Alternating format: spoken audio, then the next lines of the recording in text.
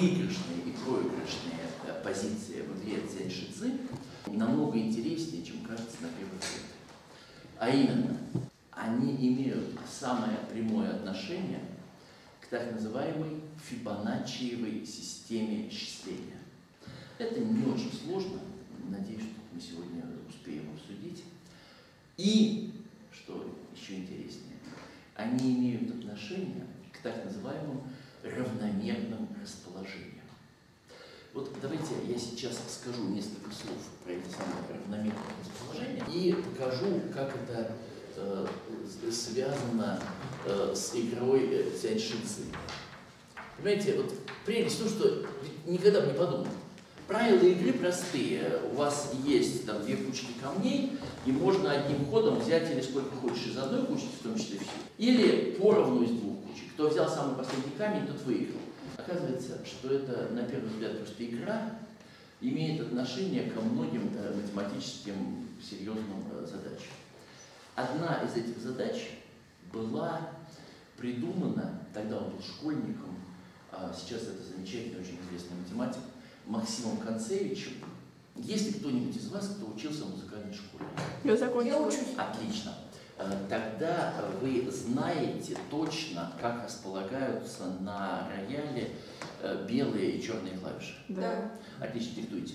Белая, черная, белая, черная, белая, черная, белая, белая, черная, белая, черная, белая, черная. Пять черных и семь белых. Так? Да. Так, Отлично.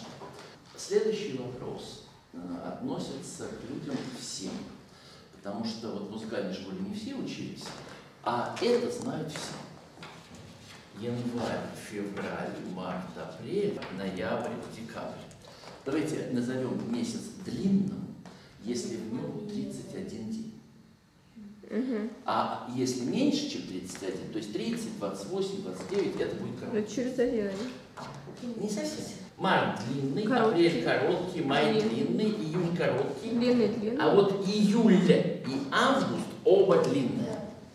Мгм. Сентябрь э, короткий, октябрь длинный, ноябрь короткий, декабрь длинный. Ну, господа, э, вот давайте теперь посмотрим, сколько у нас длинных месяцев. Семь. Э, Длинных месяцев семь, коротких месяцев пять. И вот теперь, э, почему именно так? Ну, есть длинная история, есть длинная история, как это возникало, как там календарь создавали. Вот. А давайте мы сейчас сделаем так. Я нарисую на окружность, собственно, я нарисую две окружности, да? Вот. М, И, э, собственно, отмечу. Э, Это э, очень быстро все делается. Б, Ч, Б, Ч, э,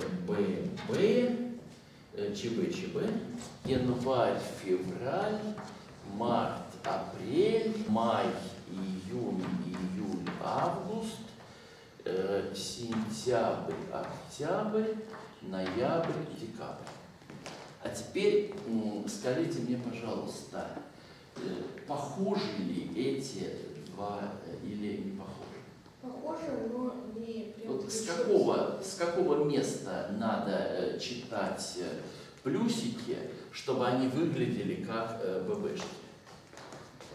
Ну вот давайте. Ну вот с третьей Б, вот получается третьей буквы второй Б плюсики начинать читать.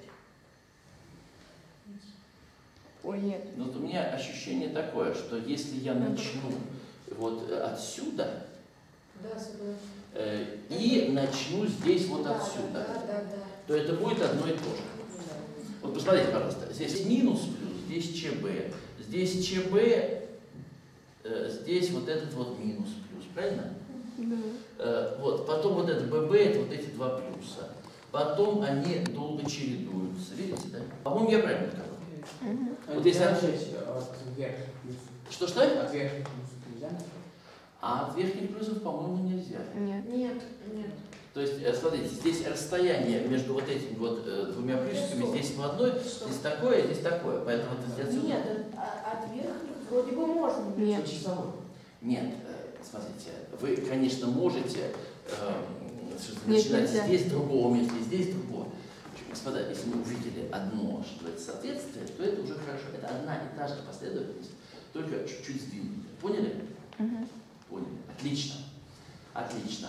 Да, и на всякий случай, э, если внимательно посмотреть, то вот это вот расположение минусиков и плюсиков вообще-то э, симметричное. Вы понимаете или нет? Ну да. Не- Э. По-моему, оно симметрично относительно горизонтальной прямой. Да. Так, а плюс Здесь вот минусы, здесь плюсы, здесь плюсы, здесь минусы. Видите? Вот. То есть, э, если перевернуть вот так картинку, то она перейдет сама в себя. Поэтому действительно вот можно там идти по часовой стрелке в некоторый момент, можно идти против часовой стрелки чуть-чуть другого момента. Так, все, я считаю, что понятно. А теперь вопрос, каким свойством обладает вот это самое равномерное расположение? Просто так написано яче? Наверное, нет. Потому что и в музыке, и в месяцах почему-то люди выбрали э, это самое расположение. Свойство такое. Оказывается, если вы возьмете, ну, например, две подряд то среди них черных либо одна, либо вообще ни одной. Согласны? Мгм. Если вы возьмете три подряд буквы, то вот здесь вот одна черная, здесь одна, здесь две, одна, две. Черных будет либо одна, либо две. Мы говорим, что равномерно расположены буквы Б и Ч в следующем случае. Э, Если, когда вы берете любое э, натуральное число n, то среди n подряд букв, среди n подряд букв, количество букв Ч, ну или там количество букв Б, соответственно, э, количество там некоторых букв э, может отличаться у разных, э, в разных ме- местах не больше, чем на единицу. Давайте я четче это.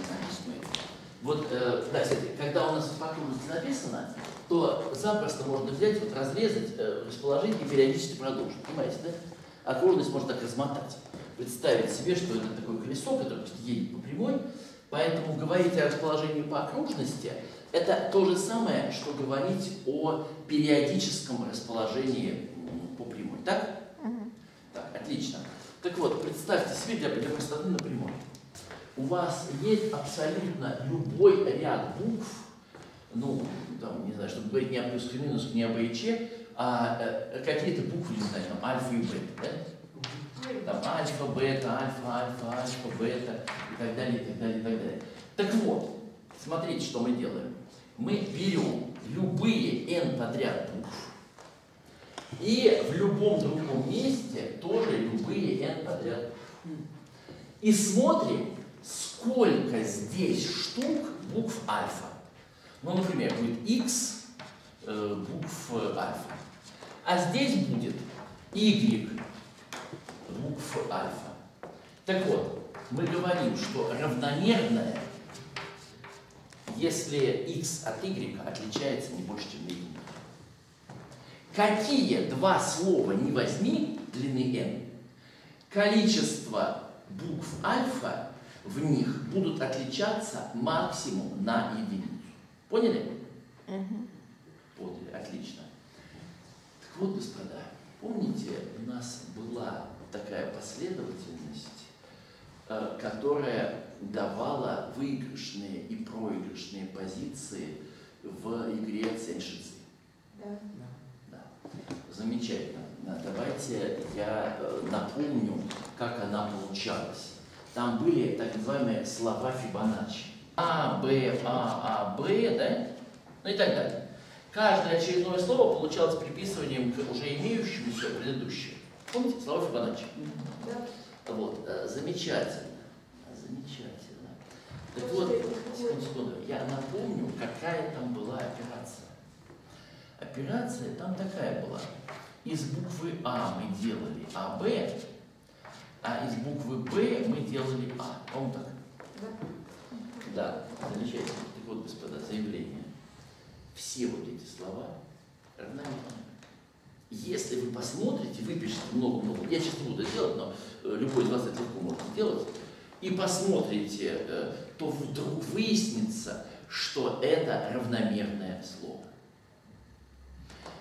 Более того, оказывается, что для любого количества букв по окружности, э, если вы знаете, сколько из них должно быть эм, самых э, плюсиков, сколько минусиков, да, или там сколько белых, сколько черных клавиш, э, вот если вы заказываете, скажем, хочу, чтобы было 13 белых клавиш и 17 черных, или наоборот, или что-нибудь, да, любые числа, абсолютно любые. Оказывается, существует и единственная, ну, с точностью поворота, конечно, да, тут поворачивать можно, э, существует единственное равномерное расположение. То есть э, вот это вот расположение для чисел 5 и 7, оно единственное. Никаким другим способом расположить нельзя. Это такая довольно интересная наука, я надеюсь рассказать вам ее более-менее целиком. Давайте я начну с одной геометрической картинки, которая делает понятнее вот эту вещь. Оказывается, с вот таким вот геометрическим расположением связана некоторая геометрия некоторая прямая на плоскости. Вот сейчас мне будет очень трудно рисовать, а вам, наоборот, очень легко. Значит, э, рассказываю, что нужно сделать. Нужно нарисовать сейчас, э, только, пожалуйста, не клеточки, а хотя бы две клеточки. Понятно, да? В высоту 5, то есть 5 сантиметров, в ширину 7. Мне, ребят, это рисовать очень тяжело, но, что я попытаюсь, размером 5 на 7. Понятно, откуда взялись числа 5 и 7? Да. да. Там 5 черных и 7 э, белых клавиш. Раз, два, три, четыре, пять, шесть. Вот теперь будет следующее. Я должен соединить два противоположных угла этого прямоугольника. Значит, давайте э, смотреть, как это делается. Угловой коэффициент этой прямой – это 5 седьмых. Да? Поэтому здесь она пройдет через точку 5 седьмых. Дальше она пройдет через 10 седьмых, то есть будет примерно здесь. Дальше через 15 седьмых, она будет вот здесь. Дальше через 20 седьмых, 20 седьмых это чуть-чуть ниже. Дальше 30 седьмых это будет 4 с небольшим, и дальше оно будет сюда. Вот она наша прямая. Господа, еще раз. У вас в тетради это должно быть намного красивее, но и вам это делать намного легче, чем мне. А теперь, э, теперь одна проблема, состоящая в том, что эта прямая проходит через э, э, угол. И проходит. Я один угол соединил с другим. Так вот, я хочу избавиться от этого. Ну и сейчас есть два варианта. Либо провести прямую чуть-чуть выше, либо провести прямую чуть-чуть ниже. Как вам больше нравится? Выше. Выше. Выше так выше. Значит, итак, я провожу, это все все равно, э, просто нужно делать какой-то выбор. Вот. Я провожу прямую параллельно той, что была, и вот, вот буквально чуть-чуть выше, вот на какие-то на какие там доли миллиметра, то есть вот э, чуть-чуть-чуть-чуть-чуть выше, и вот здесь вот она тоже чуть-чуть выше пройдет. Понятно? Замечательно. Господа, а теперь а, у меня будут да, две буквы. Смотрите, моя прямая пересекается с каждой вертикалью. Согласны? Да. А, давайте мы мысленно отождествим вот эту вертикаль а, с той, а, и тогда вертикалей будет ровно 7 штук. Согласны? Да. она пересекается с семью вертикалями. Э, С каждой вертикалью это будет буква Б, хорошо? С каждой вертикалью будет буква Б, э, будет буква Б, ничего страшного, я, я справлюсь. Э, Б, да. А когда с горизонталью будет буква Ч. Ч, Ч, э, Ч и Ч, и там тоже, да? И там тоже Ч. В общем, э, проверьте, букв Ч должно быть 5 штук. Так? Букв Ч 5 штук. Букв Б должно быть 7 штук. Раз, два, три, четыре, пять, шесть. Да, ура! Ура, совпало. Вот, э, пожалуйста, запишите это слово. Теперь смотрим, э, это совпадает э, с нашим словом или нет. Вот с этого. Б, Б, ЧБ, ЧБ. ББ. Да, понятно, да? Б, Ч, Ну, Б. там, где мы Да, да, да, вот на- надо с этого места читать. Вот чтобы, ну или если угодно, вот, вот это слово БЧ, БЧ, ББ, это где? Можно первую прямую не считать, а считать последнюю вертикальную. Посмотрите, правда совпадает? Да. Да. Совпадает, отлично. Ну, таким образом, задача о равномерных расположениях, как ни странно, это в точности задача о том, когда вы проводите прямую на плоскости, э, когда она пересекает вертикаль, когда она пересекает горизонталь. На самом деле, все-таки не вполне в точности. Представьте себе, все буквы «Б» кроме одной буквы Ч. Такое бесконечное в обе стороны слово, в котором все буквы Б, а одна буква Ч. Как вы считаете, можно это реализовать при помощи прямой? Ну, Очевидно, Но нет. вот Очевидно, нет. Ведь что означает, что все буквы Б? Это означает, что она пересекает э, только вертикально. То есть, проще говоря, горизонтальная прямая. Да. но она почему-то в одном месте сумела пересечь горизонталь. Ну как вам сказать, она должна идти низенько-низенько здесь, бесконечно близко, потом пересечь и, и, и дальше опять, понимаете, да, равно не Вот этого бесконечно близко не бывает. Поэтому, Извините, да, а почему она просто не может уйти по этой горизонтали? тогда не будет ни одной буквы Ч. Она не Слово из всех букв Б, пожалуйста, существует. А вот чтобы была ровно одна буква Ч, такого не бывает. То есть, э, что у нас получается? У нас получается, что есть некоторая исключительная ситуация, ну, на самом деле, чуть-чуть больше этих исключительных ситуаций, но это именно, именно вот такая вот исключительная именно ситуация, Э, и примерно она соответствует вот этому вот прохождению через узел, да? Э, Чуть-чуть приходится на эту тему, а, что называется, думать. Э, Вот оказывается, что можно в точности объяснить, как связаны равномерные расположения с ну, вот э, таким пересечением. И для нашей задачи, помните, у нас вот бы- были это слово там А, Б, А, помните, да? Для нашей задачи можно указать такую линию. Э, Я повторяю, я боюсь сегодня рассказывать сразу все, поэтому давайте э, сделаем сначала так.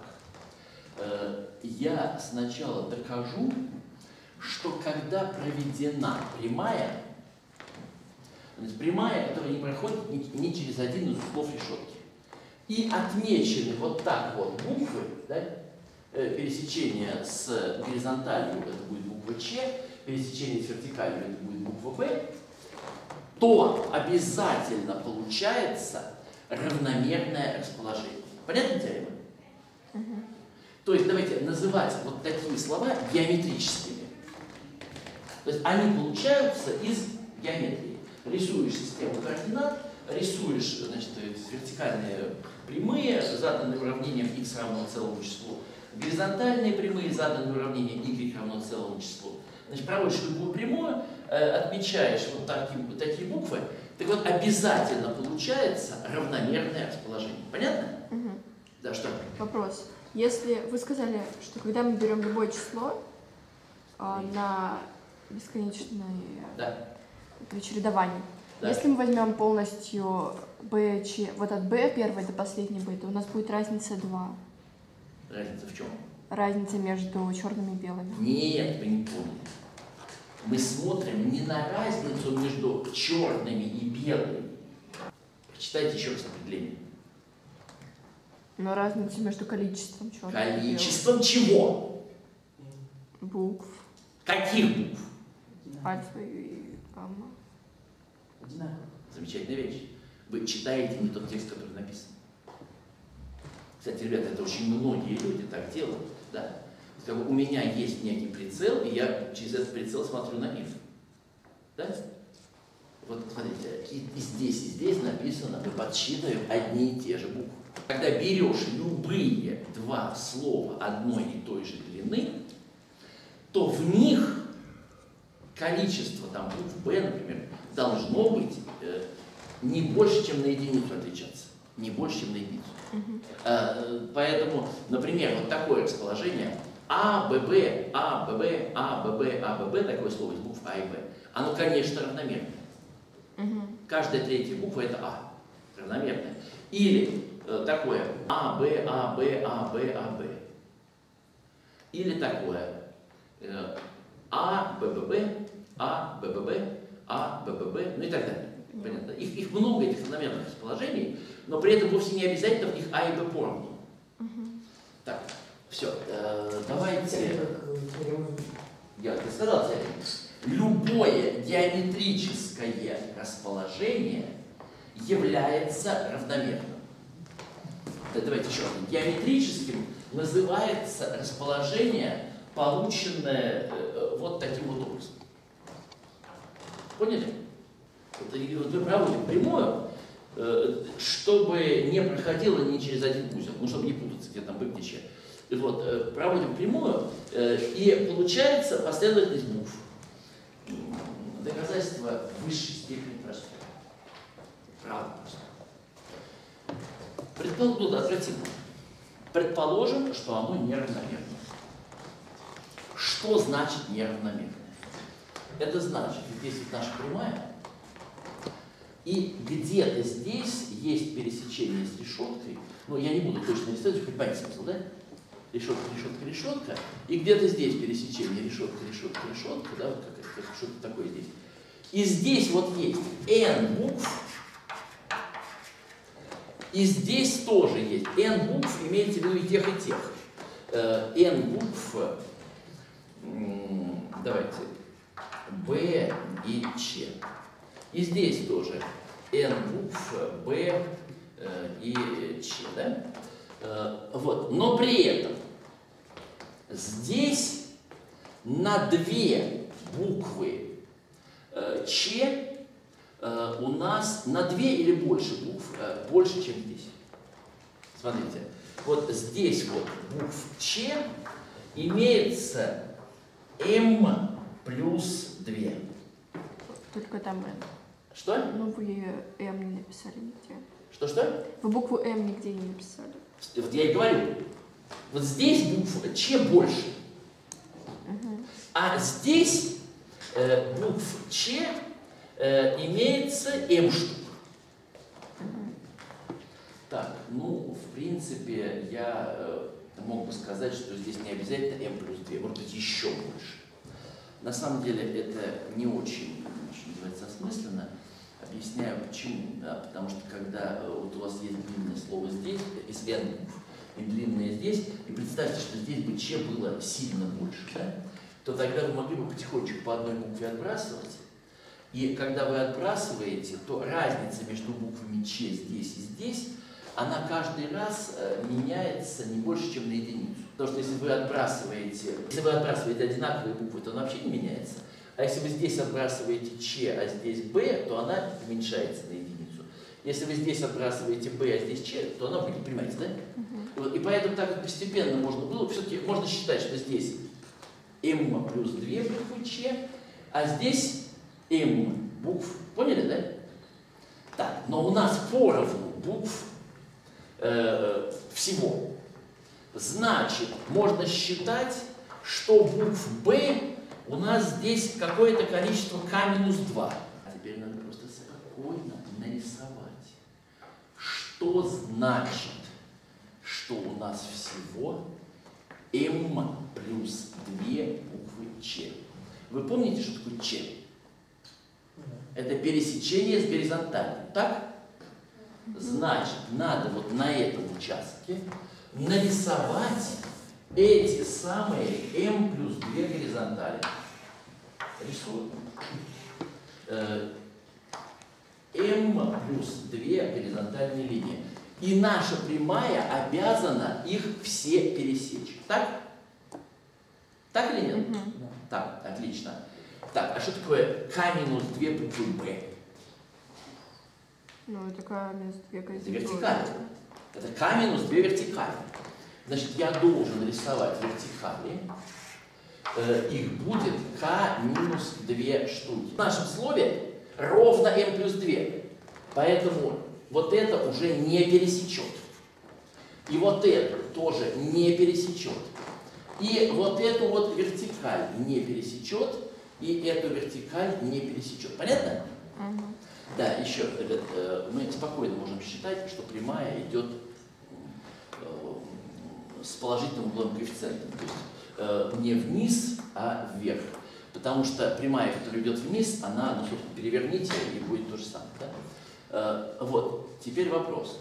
Чтобы пересечь k минус 2 вертикали и m плюс 2 горизонтали, понимаете ли вы, что она должна была начаться где-то здесь, а кончиться где-то здесь? Наш, ну, наш отрезок. этого. Мгм. А? Ну как иначе?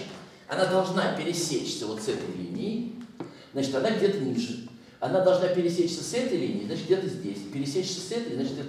В общем, прямая выглядит как-то вот так. Поняли? Отлично. Извините, а здесь? Точно так же. Точно так же, только числа другие. Суммы разные получаются там. Э, А сумма, должна быть n. Одна и та же сумма.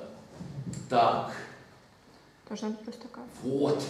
Глубочайшее вам спасибо, потому что вы нас полностью спасли, потому что... Да, огромное вам спасибо. Сумма у нас, конечно, должна быть m в обоих случаях.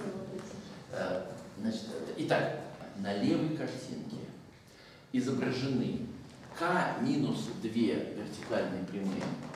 И вот, вот такой волнистой штукой показано, что мы уже не пересекаем. И здесь это тоже не пересекаем. Эту горизонталь не пересекаем, не пересекаем, а m плюс 2 пересекаем. Здесь нарисовано на две больше вертикальные, и они обрамлены опять теми, которые мы не пересекаем. А горизонтальных, вот здесь вот было 5 штук, значит, m равнялось 3, а горизонтальных э, здесь наоборот будет 3, э, на 2 меньше, то есть, и вот эти мы как раз не пересекаем. Э, Вот, а теперь очень важно. Э, Наша прямая должна начаться где-то здесь и закончиться где-то здесь. Так, согласны? Вот. А вот теперь заявление. Не может одна и та же прямая выглядеть и так, и так. Почему? Потому что очевидным образом вот здесь вот она наклонена, у нее угловой коэффициент меньше, э, чем у этой. Давайте объясню.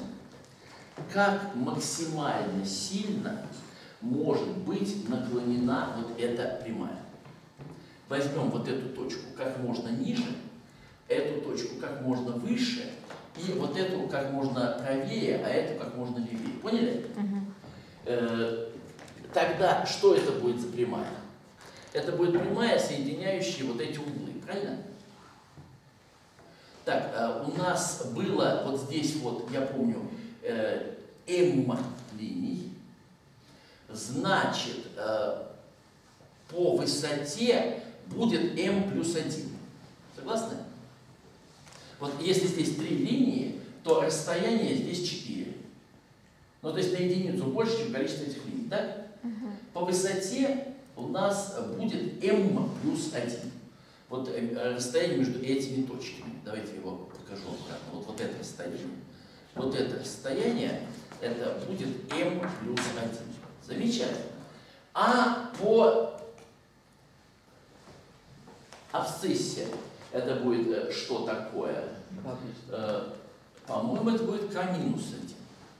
Вот смотрите, k это же было количество вот этих вот штук, отрезков, а расстояние на единицу меньше. Значит, э, здесь вот такое отношение. Согласны? И это максимально большой угловой коэффициент. На самом деле, наш угловой, настоящий угловой коэффициент этой прямой меньше, чем вот это число. Угловой коэффициент давайте обозначим какой-нибудь там буквой, э, не знаю, Т. Да? Э, Т это угловой коэффициент. Что такое угловой коэффициент, все да? Это отношение превращения по ординате к превращению по абсциссе. Так вот, t меньше, чем m плюс 1 делить на k минус 1. Отлично. А теперь смотрим на эту картинку. Как максимально, наоборот, положить вот эту прямую? Э, Для этого надо взять вот эту точку здесь вот, а эту точку вот здесь. Согласны? Да? Чтобы она максимально легла. Э, Замечательно. Э, Смотрим тогда. Вот этих вот прямых было m плюс 2 штуки. Так значит, по высоте, господа, между ними будет в точности расстояние m плюс 1. Понятно объяснил? Так. А по горизонтали? По горизонтали здесь вот этих отрезочков было k минус 2. Э, Значит, вот это расстояние, это k минус 1. Понимаете? Вот здесь 4, а расстояние 5. Вот это вот расстояние, это k минус 1. Ну, до, до, до, до этой точки. k минус 1. Господа, опять получается, что угловой коэффициент, э, угловой коэффициент, э, только там он был меньше, а здесь он больше, чем э, m плюс 1 э, делить на k минус 1. Вообще все. Поняли? Э, То есть, ребята, э, это просто рассмотрение картинки и понимание того, что если в какой-то момент у вас стало слишком много букв Ч, это значит прямая стала весьма вертикальной. да. А если у вас наоборот стало много букв э, Б, то э, в этот момент прямая стала более-менее пологой. Потому что B это значит пересекает вертикально, то есть идет полога. И вот, и, соответственно, вот получается, вот, поняли?